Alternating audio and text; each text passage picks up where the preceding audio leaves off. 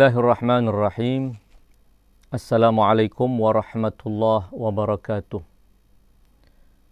Alhamdulillahi rabbil alamin. Wabihi nasta'in wa sallallahu ala khairi khalqihi ajma'in. Muhammadin wa alihi at-tayyibin at-tahirin.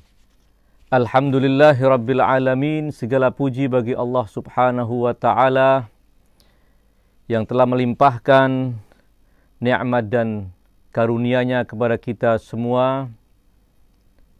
Salawat serta salam kami mohonkan agar dilimpahkan kepada Rasulullah sallallahu alaihi wa alihi wasallam bersama keluarga suci beliau.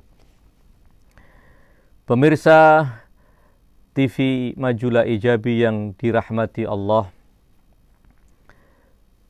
Kali ini kita berjumpa dalam renungan doa-doa Ahlul Bait, doa-doa yang dipanjatkan dan diajarkan oleh para imam suci Ahlul Bait agar menjadi bacaan rutin kita, menjadi arahan untuk doa-doa dan permohonan kita. Kali ini kita akan mencoba merenungkan doa keenam yang diajarkan oleh Imam Zainul Abidin dalam Sahifah Sajjadiyah. Doa yang dianjurkan untuk kita baca di pagi dan di malam hari. Sebelumnya ingin saya sampaikan sekedar sebagai pengantar untuk memperkenalkan kerangka umum doa-doa yang diajarkan oleh para imam suci Ahlul Bait baik yang tertera dalam kumpulan buku doa As-Sahifah Sajadiyah yang merupakan kumpulan doa-doa Imam Zainal Abidin, putra Imam Al-Husain, putra Imam Amirul Mukminin Ali bin Abi Talib alaihi salam. Maupun dalam doa-doa yang lain, doa Kumail, doa Arafah, dan berbagai macam doa yang telah diwariskan oleh para imam suci Ahlul Bait dan diabadikan oleh para ulama agung kita agar menjadi sebuah khazanah yang sangat kaya akan nilai-nilai spiritual. Secara umum doa-doa yang diajarkan oleh para imam suci Ahlul Bait memiliki sederetan ciri.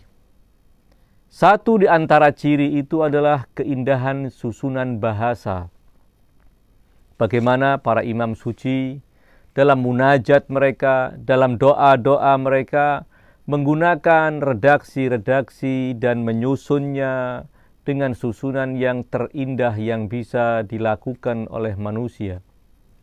Sehingga keindahan bahasa yang mewarnai doa-doa Ahlul Bait menjadi cita rasa tersendiri bagi para pembacanya. Bagi mereka yang mampu memahami nilai-nilai sastra dari untaian doa-doa berbahasa Arab. Keistimewaan yang kedua dari doa-doa yang diajarkan oleh para imam suci Ahlul Bait adalah bahwa doa-doa itu tidak semata memuat permintaan, memuat permohonan, yang tentunya menjadi kebutuhan hamba dan kebutuhan adalah sesuatu yang tidak bisa dipisahkan dari wujud manusia sebagai hamba Allah Subhanahu wa taala. Namun doa-doa Ahlul Bait tidak semata mengajarkan kepada kita apa yang kita minta dari Allah Subhanahu wa taala terkait dengan kebutuhan-kebutuhan pribadi kita, kebutuhan-kebutuhan jasadi kita, namun juga doa-doa ahlul bait alaihim afdhalus salati wassalam di samping mengajarkan kepada kita permohonan dan doa untuk urusan-urusan dunia kita juga mengajarkan kepada kita agenda hidup. Pada hakikatnya doa-doa yang diajarkan oleh para imam suci ahlul bait memuat apa yang seharusnya kita lakukan dalam kehidupan ini. Agenda apa yang harus kita jalankan dalam kehidupan ini. Ada agenda-agenda besar. Sebagai manusia muslim mukmin harus memperhatikan agenda-agenda itu dan para imam suci mengajarkan kepada kita agenda itu melalui untaian-untaian doa. Keistimewaan yang lain lagi dari doa-doa Ahlul Bait adalah di dalamnya termuat pedoman-pedoman tentang ajaran-ajaran Islam, tentang akidah, tentang syariah, tentang apa yang menjadi keharusan hamba di dalam beragama. Jadi itu sekilas tentang keistimewaan doa-doa yang diajarkan oleh para imam suci Ahlul Bait. Tentu tidak terkecuali berbagai macam doa dalam As-Sahifah Sajadiyah dan kita pada pertemuan kali ini dan mungkin beberapa pertemuan yang akan datang kita akan mencoba melakukan perenungan terhadap doa Al-Imam Zainil Abidi yang beliau baca dan beliau ajarkan kepada kita agar kita baca secara rutin di pagi dan di malam hari. Doa dengan nomor urut yang keenam wa kana min du'aihi alaihi salam 'inda sabahi wal masa dan di antara doa beliau di pagi dan di waktu malam.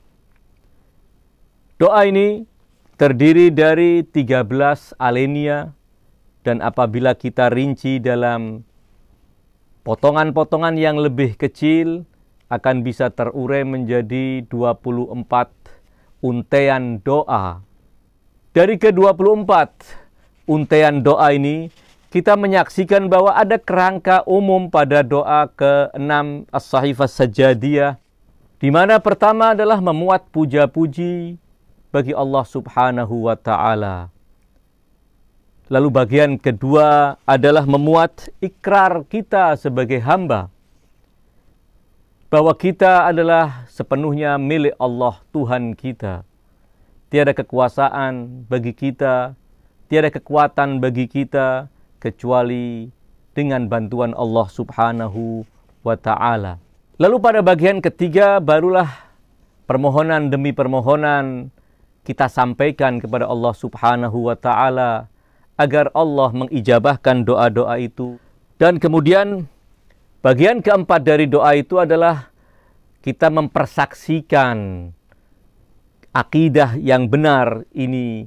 Kita persaksikan penghambaan kita ini kepada Allah Subhanahu wa taala dan kemudian doa itu ditutup dengan salawat kepada Muhammad dan keluarga Muhammad. Sebagaimana juga di tengah-tengah doa itu selalu dihiasi dengan salawat kepada baginda Rasulullah sallallahu alaihi wa alihi wasallam dan keluarga beliau. Kita untuk menyingkat waktu kita akan mencoba melakukan perenungan pada bagian pertama doa As-Sahifah Sajadiyah yang diajarkan oleh Al-Imam Zainil Abidin alaihi salam.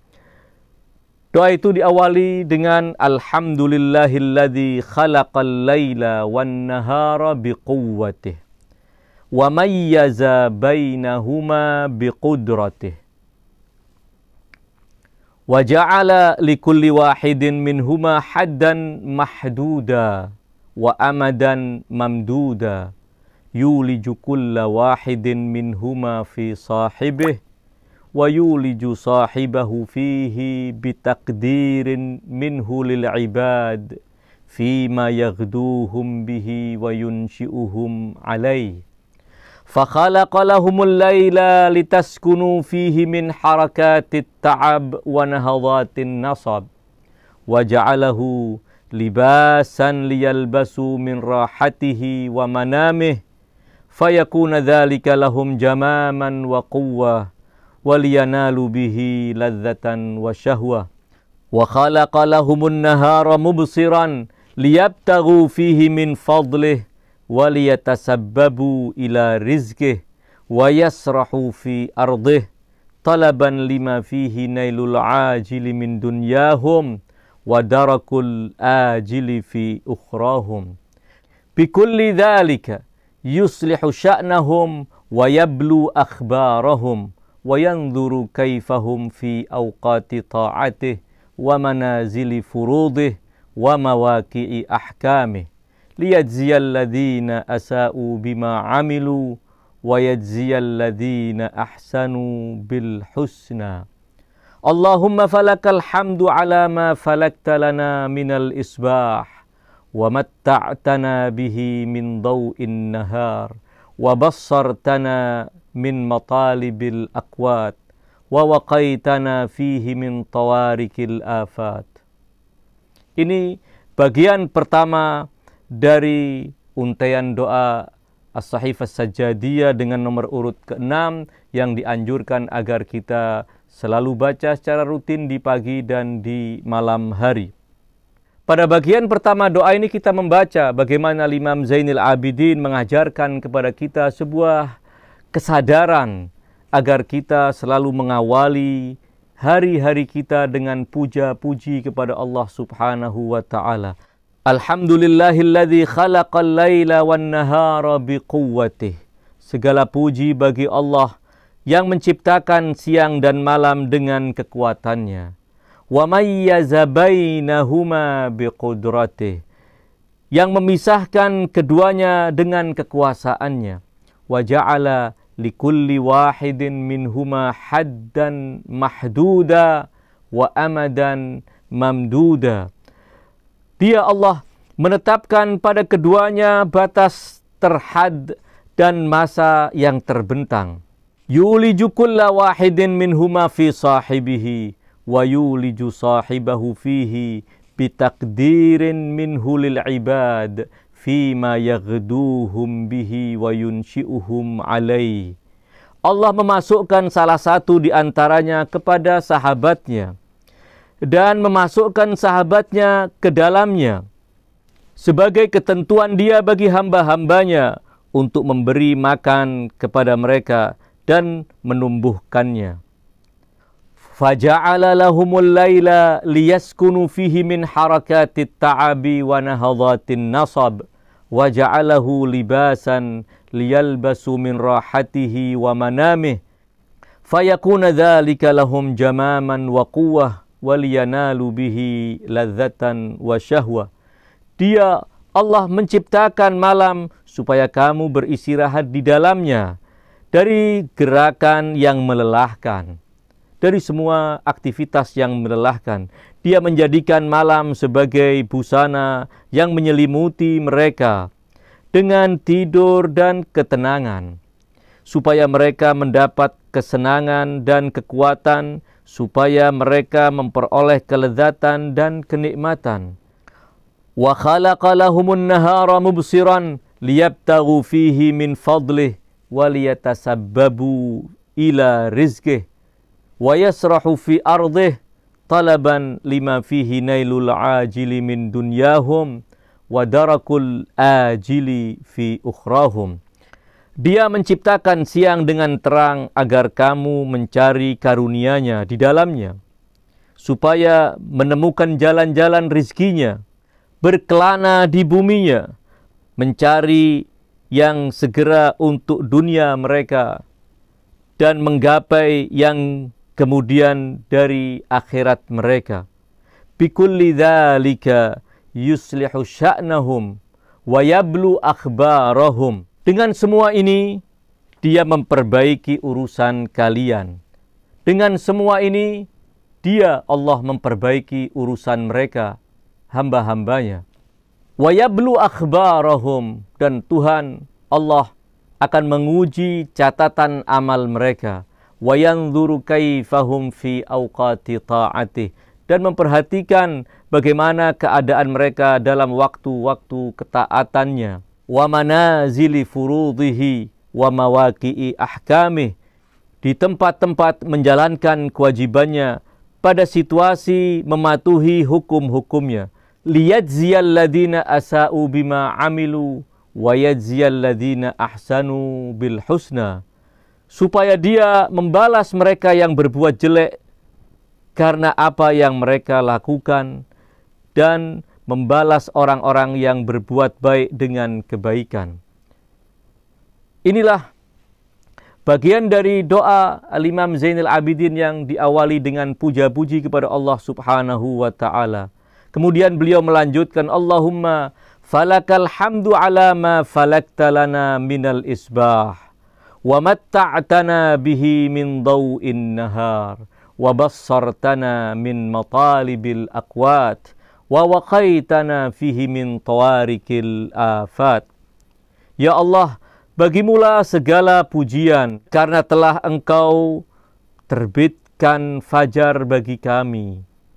Telah engkau senangkan kami dengan cahayanya. Engkau tunjuki kami tempat-tempat mencari kehidupan. Engkau jaga kami dari serangan keburukan. Inilah bagian pertama dari doa keenam Sahifah Sajadiyah yang dianjurkan agar kita baca di pagi dan di malam hari. Al-Imam Zainal Abidin mengawali dengan puja-puji kepada Allah Subhanahu wa taala karena limpahan nikmatnya, karena kucuran anugerahnya, karena kita hidup dalam rahmat dan nikmat Allah Subhanahu wa taala. Perlu ditanamkan sebuah kesadaran di awal hari di mana kita memulai kehidupan kita di hari yang baru ini kita dengan penuh kesadaran memuja Allah Subhanahu wa taala atas semua nikmat yang telah Allah berikan. Tentu ayat-ayat suci Al-Qur'an Al-Karim telah banyak memuat anjuran agar kita memuja Allah Subhanahu wa taala, menyucikan Allah Subhanahu wa taala dari berbagai sifat kurang dan menetapkan sifat puja-puji bagi Allah Subhanahu wa taala. Karena seorang hamba yang hidup tentu hidup di bawah naungan nikmat Allah Subhanahu wa taala dan sebagai hamba mukmin sudah sepatutnya selalu mengingat limpahan nikmat Allah Subhanahu wa taala dengan memujinya melalui lisan puja-puji yang diucapkan dengan lisan penuh kesadaran. Puja-puji yang juga diwujudkan dalam bentuk kesadaran dalam jiwa dan pikiran mereka bahwa tiada nikmat kecuali dari Allah Subhanahu wa taala. Itulah yang ditanamkan di dalam surat pertama Al-Qur'an Al-Karim ketika kita diajarkan oleh Allah Subhanahu wa taala agar mengucapkan alhamdulillahi rabbil alamin. Segala puji bagi Allah Tuhan semesta alam. Tiada kebaikan apa pun di alam semesta ini kecuali bersumber dari Allah Subhanahu wa taala dan setiap mukmin harus menyadari yang demikian. Tiada kebaikan, tiada keindahan, tiada nikmat kecuali dari Allah Subhanahu wa taala. Allah lah yang melimpahkan yang menganugerahkan nikmat itu kepada kita semua. Lalu apa yang menjadi kewajiban kita? tentu sebagai seorang mukmin yang telah mengimani Allah Subhanahu wa taala sebagai orang mukmin yang memiliki kesadaran akan kebergantungan segala sesuatu kepada Allah Subhanahu wa taala sebagai seorang mukmin pasti akan memuji Allah Subhanahu wa taala atas nikmat-nikmat tersebut. Di dalam beberapa ayat Al-Qur'an kita juga menemukan bahwa Allah Subhanahu wa taala menganjurkan kita agar selalu mengucapkan tasbih kepada Allah Subhanahu wa taala.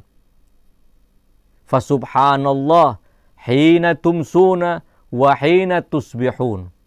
Walahul hamdu fis samawati wal ard wa ashiyan wa hina tuzhirun. Demikian Allah firmankan dalam surat Ar-Rum di mana Allah Subhanahu wa taala mengajarkan kepada kita agar kita menyucikan Allah Subhanahu wa taala. Hina tumsun ketika kita masuk di waktu sore, wa hina tusbihun ketika kita masuk di waktu pagi, wa asyian ketika kita masuk di waktu malam, wa hina tuzhirun dan ketika kita di siang hari. Inilah waktu-waktu yang Allah sebut di dalam Al-Quran pada ayat surat Ar-Rum agar kita selalu mengingat Allah Subhanahu wa taala dengan menyucikan Allah di waktu-waktu itu. Karena waktu-waktu itu akan menyadarkan kita bahwa silih bergantinya waktu menunjukkan bahwa ada yang menggerakkan waktu ini. Silih bergantinya waktu ini menjadi pertanda bagi kita bahwa kita hidup di bawah naungan aturan Allah Subhanahu wa taala. Walahul hamdu fis samawati wal ard. Dan baginya dan hanya baginya pujian di langit-langit maupun di bumi. Para ulama menyebutkan terkait dengan ayat ke-17 hingga ayat ke-19 surat Ar-Rum bahwa kendati redaksi ayat itu adalah fasubhanallahi hina tumsuna wa hina tusbihun Maha suci Allah.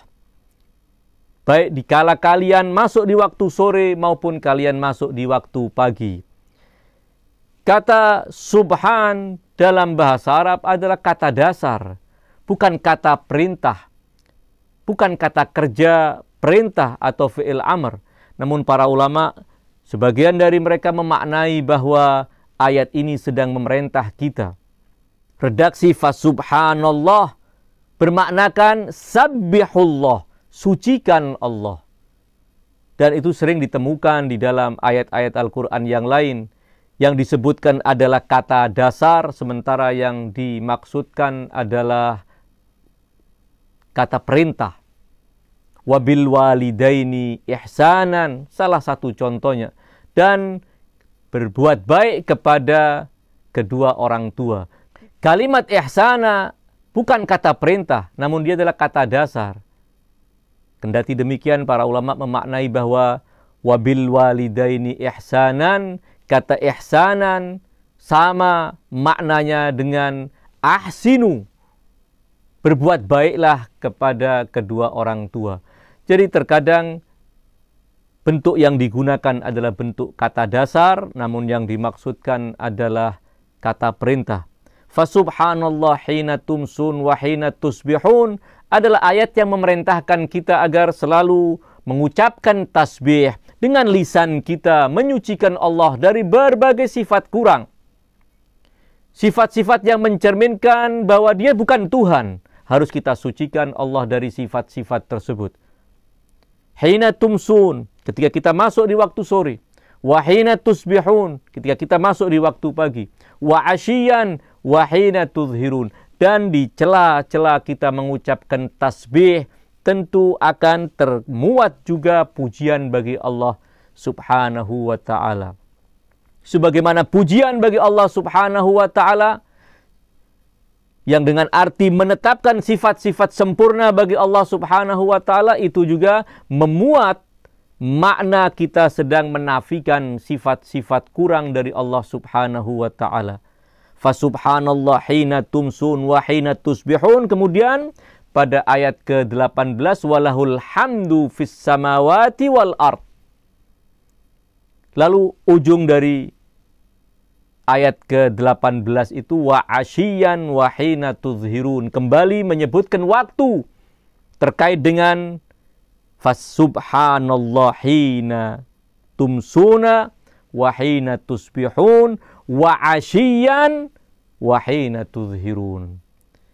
Jadi dari ayat ini kita menyaksikan bagaimana digabungkannya antara menyucikan Allah dengan bertahmid memuji Allah Subhanahu wa taala. Karena memang antara keduanya tidak bisa dipisahkan.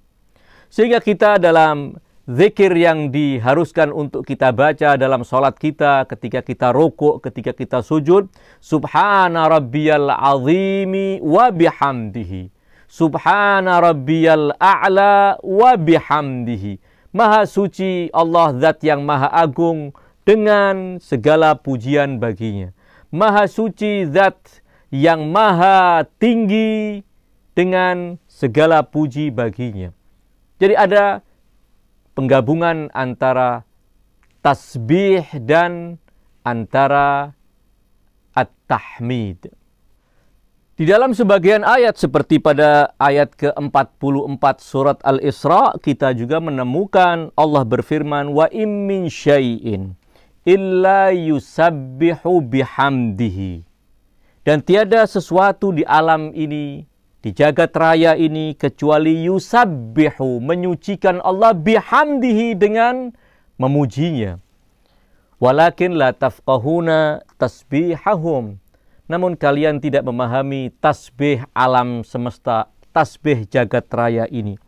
Dalam ayat lain pada surat Al-Furqan ayat ke-58 kita membaca firman Allah Bismillahirrahmanirrahim. Wa tawakkal 'alal hayyil ladzi la yamut. Dan bertawakallah engkau kepada zat yang maha hayy yang tidak mati wa tawakkal 'alal hayyil ladzi la yamut. Wasabbih bihamdih. Dan sucikan Allah dengan memujinya. Wa kafa bihi bidzunubi ibadihi khabira. Dan cukuplah dia maha mengetahui dosa-dosa hamba. Dalam dua ayat ini dan ayat-ayat yang lain kita menemukan bahwa Allah menggandengkan antara tasbih dan tahmid yusabbihu bihamdihi. Menyucikan Allah dengan menepis dengan meniadakan dengan menafikan semua sifat-sifat kurang dengan memuji Allah Subhanahu wa taala. Tentu uraian para ulama terkait dengan ayat-ayat semisal sangat panjang khususnya terkait dengan makna yang terkandung pada huruf ba pada bihamdihi. Yusabbihu bihamdihi namun terlepas dari uraian para ulama yang panjang itu, yang ingin kita renungkan dalam untaian doa yang diajarkan oleh Al-Imam Ali Zainal Abidin As-Sajjad alaihi salam adalah bagaimana kita membuka dan mengawali hari kita dengan puja-puji kepada Allah Subhanahu wa taala dengan menyebutkan sederetan nikmat-nikmatnya agar kita menghitung satu demi satu nikmat-nikmat yang telah kita rasakan baik secara langsung maupun tidak. Walaupun tentu nikmat-nikmat Allah jauh dari mampu untuk kita hitung. Wa in ta'uddu ni'matallahi la tuhsuha. Namun kita sebagai hamba harus merinci nikmat-nikmat yang telah kita terima dari Allah Subhanahu wa taala, nikmat-nikmat yang telah Allah anugerahkan kepada kita. Sebagai bukti bahwa kita menyadari bahwa ini semua adalah nikmat darimu ya Allah. Engkau telah menciptakan malam dan siang dengan silih berganti. Waktu malam untuk ketenangan, waktu siang untuk beraktivitas, semua ini Allah atur demi kebaikan kita. Kita perlu menyebut yang demikian. Satu persatu dari nikmat-nikmat Allah itu kita akan sebut dalam puja-puji kita kepada Allah Subhanahu wa taala.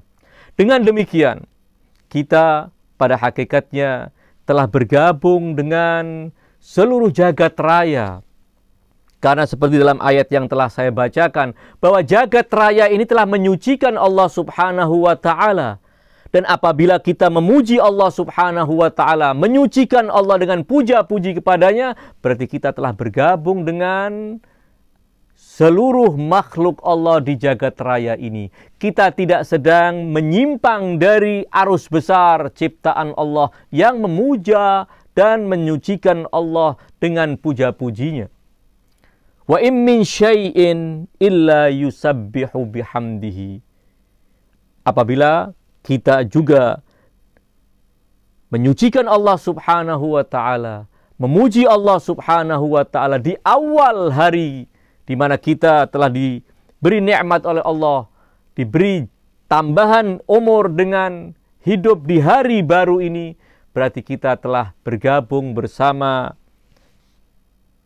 simfoni besar jagat raya yang menyanyikan puja-puji bagi Allah Subhanahu wa taala. Namun apabila kita dalam kehidupan kita di awal hari di mana kita telah mendapatkan anugerah dari Allah, kita lupa tidak memuji Allah Subhanahu wa taala. Seakan kesehatan yang kita dapat, umur panjang yang Allah berikan seakan itu adalah karena kehebatan kita dalam menjaga kesehatan kita. Sehingga kita lupa berapa banyak orang yang hidupnya teratur pun juga mati secara mendadak. Nikmat Allah ini perlu kita ingat, perlu kita sebut dan Allah kita puji atas nikmat tersebut. Alhamdulillahilladzi khalaqal laila wan nahara biquwwatihi wa mayyaza bainahuma biqudratihi. Inilah puja-puji yang diajarkan oleh Imam Zainil Abidin alaihi salam. Sekali lagi bahwa ketika kita memuji kepada Allah Subhanahu wa taala itu Artinya kita bergabung bersama seluruh ciptaan Allah dalam pusaran tauhid, dalam pusaran kesadaran akan puja-puji kepada Allah Subhanahu wa taala. Dan yang kedua, ketika kita juga mengawali hidup kita dengan puja-puji kepada Allah Subhanahu wa taala, itu pada dasarnya kita termasuk di antara hamba-hamba yang mensyukuri nikmat Allah Subhanahu wa taala. Ujian yang kita lantunkan untuk Allah Subhanahu wa taala dengan ucapan yang sangat simpel. Alhamdulillah, segala puji bagi Allah.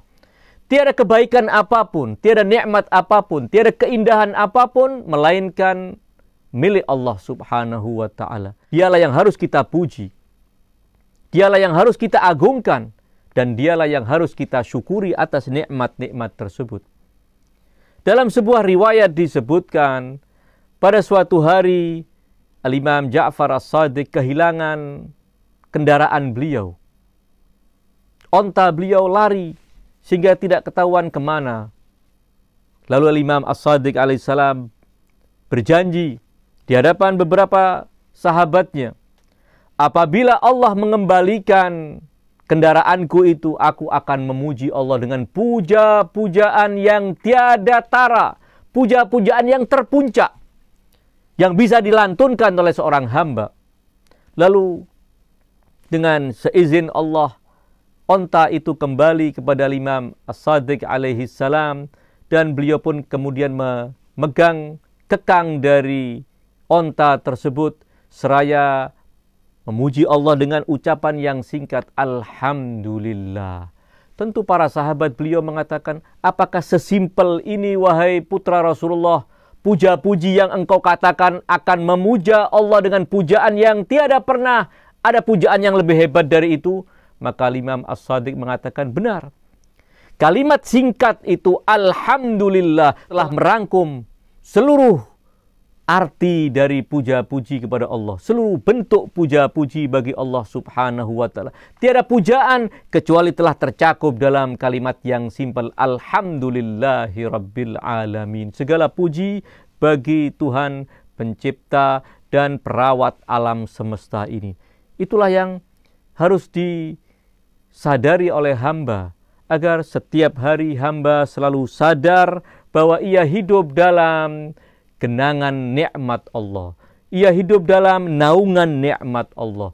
Hidup dalam limpahan anugerah Allah subhanahu wa ta'ala. Sehingga apa yang harus dia lakukan? Yang harus ia lakukan adalah memuja Allah. Memuji Allah sebagai bukti syukur hamba kepada Allah atas limpahan nikmat-nikmat itu. Dan Allah telah berjanji, La in syakartum la azidannakum. Apabila kalian bersyukur, aku akan tambah nikmat-nikmat itu. Wala in kafartum. Namun apabila kalian kufur kepada nikmat, inna azabi lasyadid. Siksaku benar-benar pedih. Agar kita terhindar dari siksa Allah yang pedih. Nikmat itu dicabut dari kita, maka kita harus rawat nikmat itu dengan bersyukur kepada Allah dan pujian itu adalah bagian dari syukur kepada Allah Subhanahu wa taala. Pujian kita kepada Allah adalah wujud nyata dari kesadaran kita dalam bersyukur kepada Allah Subhanahu wa taala. Syukur bisa kita ucapkan dan syukur tentu tidak terbatas pada syukur lisani, syukur yang diucapkan dengan kata-kata pujian, namun juga syukur tentunya adalah dengan memanfaatkan nikmat yang telah Allah berikan sesuai dengan yang Allah maukan.